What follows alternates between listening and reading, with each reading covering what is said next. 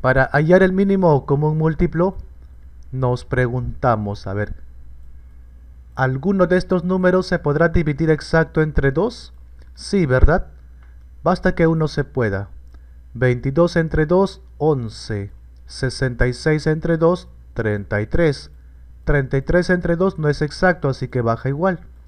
Ahora que haya ninguno, se puede entre 2 y eso se sabe porque no terminan en cifra par.